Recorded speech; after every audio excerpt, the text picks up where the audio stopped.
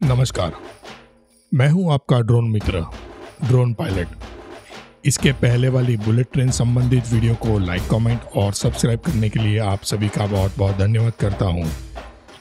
मित्रों, इस वीडियो के माध्यम से मैं उन सभी लोगों को धन्यवाद कहना चाहता हूँ, जिन्होंने मुझे यह वीडियो बनाने के लिए प्रेरित किया है। पारनेरा पर्वत नेशनल हाईवे नंबर 48 से ज़्यादा नज़दीक है, केवल दो किलोमीटर। इस वीडियो में आपको पारनेरा पर्वत के किले का संक्षिप्त इतिहास बताने जा रहा हूँ। मित्रों, वैसे पारनेरा पर्वत पर बसा हुआ यह किला सदियों पुराना है। किले पर चढ़कर ऊपर आने के दो रास्ते हैं उत्तर और दक्षिण। एक तरफ़ सूरत और दूसरी ओर मुंबई। दोनों तरफ़ पहाड़ी के नीचे तक पक्की सड़क बनी हुई है और पार्किंग सुविधा है। मुंबई से आते हुए अतुल वाले रास्ते से संबंधित वीडियो इसके पहले बना चुका हूँ। तो इस वीडियो में वलसाड़ वाले रास्ते के बारे में बताने जा रहा हूँ। यहाँ पर चढ़ाई ज़्यादा है। 500 सीढ़ियाँ हैं और सीढ़ियों पर छत है। यहाँ पर चहल पहल होती है। दोनों के ही गूगल लोकेशन मैंने डिस्क्रिप्शन बॉक्स में शेयर किए हैं। आप चेक कर सकते हैं। और यदि आपने मेरा चैनल ड्रोन मित्र अभी तक सब्सक्राइब नहीं किया है तो कृपया सब्सक्राइब कीजिए। सब्सक्राइब करने के लिए नीचे दिए गए सब्सक्राइब बटन के साथ बेल बटन को ज़रूर दबाएँ। और मेरे चैनल के प्लेलिस्ट को अपनी यूट्यूब लाइब्रेरी में ऐड ज़रूर करें। इससे वीडियो ढूँढने में आपको आसानी होगी।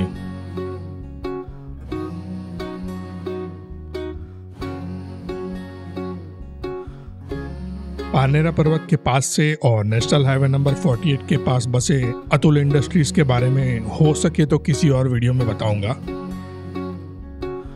हाईवे के पर्याय किसी को यहाँ ट्रेन से आना हो तो नजदीकी रेल स्टेशन है वलसाड रेलवे स्टेशन। मराठा वीर शिरोमणि, परम प्रतापी, परम बुद्धिमान, परम ज्ञानी, कुशल रणनीतिकार कट्टर हिंदुत्ववादी छत्रपति शिवाजी महाराज को शत शत नमन एवं प्रणाम कर इस किले से संबंधित ऐतिहासिक जानकारी साझा कर रहा हूँ। कुछ लोगों का यह मानना है कि यह किला पंद्रहवीं शताब्दी तक रामनगर, जिसे अब हम धर्मपुर के नाम से जानते हैं, उस धर्मपुर के राज्य की देखरेख में था। पंद्रहवीं शताब्दी के अंत में सुल्तान मोहम्मद शाह बेगड़ा ने इस किले को जीत लिया था। सोलहवीं शताब्दी में दमन के आक्रमणकारियों द्वारा इसे नष्ट कर दिया गया था।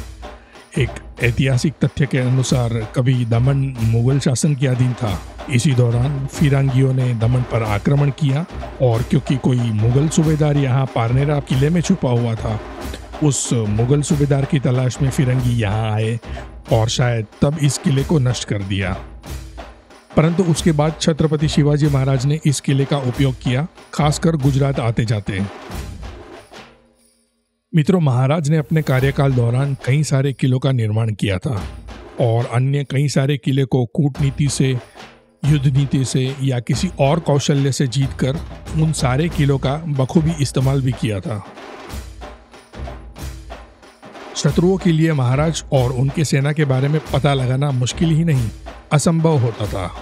उन सब की जानकारी किसी को नहीं होती थी।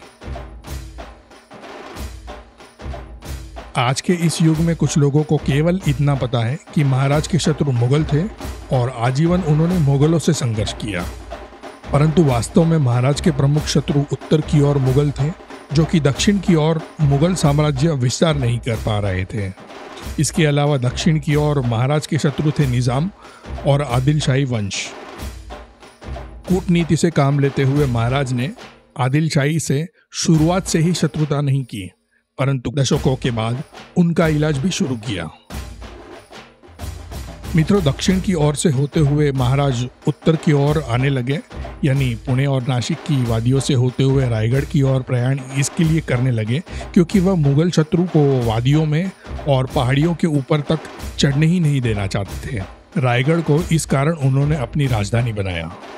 परंतु उसके पहले जब पहाड़ियों से नीचे रायगढ़ की तरफ़ आने पर उन्होंने स्वराज्य, यानी हिंदवी स्वराज, यानी स्वतंत्र हिंदू राष्ट्र भारत के एक और शत्रु को पहचाना, और वह थे अंग्रेज़, जो कि मुंबई से वसई मार्ग से भारत में घुस चुके थे और इन्होंने यहाँ अपना बसेरा कर लिया था।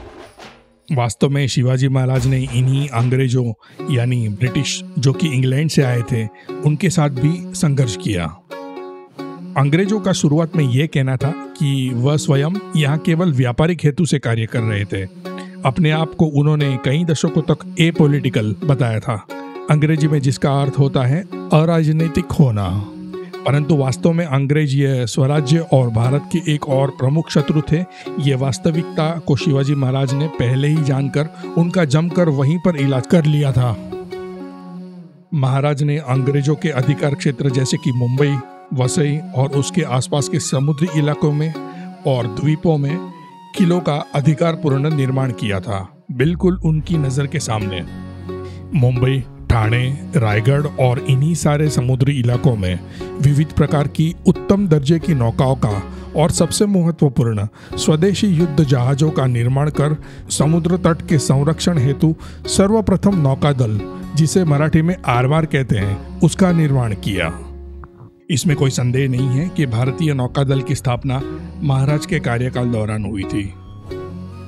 अंग्रेज़ी और पुर्तगीज दस्तावेजों में इनकी नौकादल की शक्ति के बारे में विस्तार से वर्णन किया गया है। महाराज के समुद्री शौर्य गाथा पर अलग से वीडियो बनाया जा सकता है। दक्षिण की ओर निज़ाम शाही आदिल शाही के अलावा एक और शत्रु महाराज ने पहचाना था और वह थे पोर्तुगीज। इनका सामना करने और पोर्तुगीज साम्राज्य को गोवा और उसके आसपास तक सीमित रखने हेतु एक विशाल किले का निर्माण किया, जिसका नाम है सिंधुदुर्ग। दुर्ग यानी किला। किला शब्द भारतीय न होने के कारण मराठी में दुर्ग शब्द का प्रयोग किया जाता है। ऐसा माना गया है कि सिंधुदुर्ग को उस भौगोलिक क्षेत्र में निर्माण करना अत्यंत आवश्यक था। उस विशाल सिंधु दुर्ग यानी किले की निर्माण कार्य के लिए धनराशि का अभाव महाराज ने सूरत छापामार मुहिम से पूर्ण किया था। और ये तथ्य बहुत ही कम लोग जानते हैं। दुर्भाग्य से आज कई लोग केवल यही कहते हैं कि छत्रपति शिवाजी महाराज ने सूरत को लूटा था।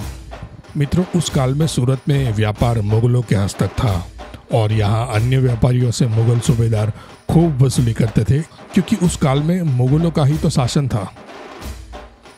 शुरुआती दौर में महाराज ने बार बार मुगलों से चौथ वसूली का प्रस्ताव किया, जिसे मुगलों ने नकार दिया। उसके बाद महाराज के गुप्तचरों ने सूरत के बारे में संपूर्ण जानकारी, खास करके आर्थिक जानकारी महाराज को देना शुरू किया। सूरत की सुरक्षा व्यवस्था, वहाँ के सभी बड़े से लेकर छोटे व्यापारियों की आदि और उनके पास अपेक्षित धनराशि की संभावना इत्यादि। मित्रों सूरत में छापा मारने से पहले महाराज ने एक आखिरी बार चौथ वसूली का संदेश भेजा और डेढ़ दिन का समय दिया। जिस वक्त महाराज अपनी सेना समेत सूरत से थोड़े ही दूर उधना में आकर बसेरा कर चुके थे। लेकिन इस बार भी महाराज के चौथ वसूली के संदेश को सूरत के सरदार ने नकार दिया और उसके बाद ही छापा मारना शुरू किया। ऐसा कहा जाता है कि छत्रपति शिवाजी महाराज ने कभी न कभी गुजरात आते जाते पारनेरा किले पर बसेरा किया था। एक कथा यह सुनने को मिली कि सन 1664 में या 1670 के दौरान जब छत्रपति शिवाजी महाराज सूरत से लौट रहे थे, तब यहाँ पारनेरा किले के पास घमासान युद्ध हुआ और एक बार महाराज को यह किला छोड़ना पड़ा क्योंकि इस किले को हर तरफ़ से शत्रु सेना ने घेर लिया था। ऐसा कहते हैं कि तब महाराज की कृष्णा घोड़ी ने इस द्वार से छलांग लगाई और घोड़ी पर सवार महाराज नदी को पार करते हुए दक्षिण की ओर निकल गए। तब से इस द्वार को गुजराती में शिवाजीनी बारी कहते हैं। बारी यानी खिड़की या द्वार। यह घटना सुनने में आज चमत्कारी इस कारण लगती है क्योंकि इस समय पार नदी किले से काफ़ी दूर है। पर हो सकता है उस काल में नदी का पात्र विशाल और चौड़ा हो कुछ लोगों का तो ये कहना है कि महाराज की घोड़ी ने बहुत ही ऊँची छलांग लगाकर नदी को ही पार कर लिया था, जिस कारण इस नदी को आज भी पार के नाम से जाना जाता है। और इस नदी के उस पार की तहसील को किला पारडी पारनेरा पर्वत के आसपास दो और गाँव हैं, जिनके नाम है अटक पारडी और पारनेरा पारडी मराठी में अटक का अर्थ गिरफ्तारी होता है, और गुजराती में अटक का अर्थ होता है उपनाम। इन नामों के पीछे कुछ तथ्य छुपा हुआ हो सकता है मित्रों। यदि आप में से किसी के पास कुछ और जानकारी हो तो शेयर ज़रूर करें। मुझे ईमेल करें। इस किले में बहुत ही गहरे पानी के तीन कुंड हैं और ये कहा जाता है कि इस कुंड की, किले की गहराइयों में खजाना और हथियारों को रखा जाता था। गुजराती में ऐसी व्यवस्था को वाव कहते हैं। यहाँ आसपास में रहने वाले लोग ये बताते हैं कि खजाने की खोज में वाव के अंदर जाने वाला कोई भी व्यक्ति आज तक जीवित वापस नहीं आया है। मित्रों, वाव की रचना कुछ ऐसी ही होती है। मित्रों, ये बात इसलिए सच हो सकती है क्योंकि महाराज सूरत मुहिम से पहली बार लौटते हुए अपनी सेना और खजाने के साथ पुणे की ओर चले थे। परंतु दूसरी बार उन्होंने रास्ते में कहीं पर खजाने को दो हिस्सों में बांट दिया था और उसमें से एक हिस्सा लेकर कल्याण के किले की ओर प्रयाण किया था। वास्तव में खजाने का वह दूसरा वाला हिस्सा कहाँ पर छुपा है, उसका आज तक पता नहीं चल पाया। पर ऐसा लगता है कि यह खजाना कल्याण से होते हुए नासिक से लेकर पुणे तक कहीं भी हो सकता है। यहाँ पर एक और विचारणीय तथ्य जानने को मिला। सूरत में पहली बार छापा मारने के लिए और युद्ध के लिए हर एक घोड़सवार के साथ एक खाली घोड़ा साथ लिया गया था। वह इसलिए कि सूरत से सारा अर्जित किया हुआ धन, हथियार, बारूद, यहाँ तक कि वस्त्र इन खाली घोड़ों पर लादकर तेज गति से पुणे की ओर ले जाया जा सके। परंतु दूसरी बार छापा मारने के दौरान हर एक घुड़सवार के साथ एक खाली घोड़े को रखने के बजाय कई सारे बैलों को साथ लिया गया था। इस बात को सुनकर ये जान सकते हैं कि महाराज ने किस प्रकार शत्रु की शक्ति और सामर्थ्य का अनुमान पहली बार छापा मारने के दौरान ही लगा लिया था। भारतवर्ष का हम सब का ये दुर्भाग्य कि 1680 में केवल 50 वर्ष की आयु में महाराज का स्वर्गवास हुआ। महाराज के बाद सर्वप्रथम पेशवा मोरोपंत पिंगले ने यहाँ पारनेरा किले पर अपनी सेना का अड्डा बनाया, यानी इसे अपना गढ़ बनाया। पेशवा मोरोपंत ने शिवाजी महाराज के शासनकाल दौरान उत्तम राजस्व प्रशासन की शुरुआत की और कई सारे रणनीतिक किलों की रक्षा और रखरखाव से संबंधित संसाधन नियोजन में महत्वपूर्ण भूमिका निभाई। एक उदाहरण के तौर पर कहा जाए तो प्रतापगढ़ के निर्माण और प्रशासन की ज़िम्मेदारी मोरोपंत पेशवा की हुआ करती थी। सौ वर्षों तक पेशवाओं का सुवर्ण काल चला। सत्रह सौ बावन में पारनेरा किला वडोदरा के गायकवाड़ सरकार के अधिकार में जाने के बाद तीसरे बाजीराव पेशवा ने पारनेरा पर आक्रमण किया, जो युद्ध कुल सात दिनों तक चला। किसी कवि ने पारनेरानी लोल नामक गुजराती गरबा में इस युद्ध का काव्य स्वरूप में विस्तृत वर्णन किया है। मित्रों, किसी के पास गरबा के बोल हो या कोई और जानकारी हो, कमेंट बॉक्स में ज़रूर शेयर करें या मुझे ईमेल करें। मराठों के शासनकाल बाद सन 1780 में एक अंग्रेज़ शासक, लेफ्टिनेंट वेल्स ने इस किले पर अपना अधिकार कर लिया और पिंडारियों से प्रतिरक्षण हेतु यहाँ अंग्रेज़ी पलटन को तैनात कर दिया। अपने आप को ए पोलिटिकल कहने वाले और अराजनीतिक हेतु से भारत में घुसने वाले अंग्रेज़ अब तक अपना पूर्ण रंग दिखा चुके थे। इन्हीं अंग्रेज़ों ने अठारह के विप्लव दौरान इस पारनेरा किले को नष्ट कर दिया था। क्यों? उन्हें ऐसा लगता था कि कुछ भारतीय यहाँ मिलकर भजन कीर्तन करते थे। स्वयं विचार कीजिए। अठारह में किले को नष्ट किया जाने के बाद के कुछ अवशेष यहाँ आज भी मौजूद हैं और देखे जा सकते हैं। सुना था यहाँ पर तीन तोपें रखी हुई थी। कहाँ है? मुझे देखने को नहीं मिली।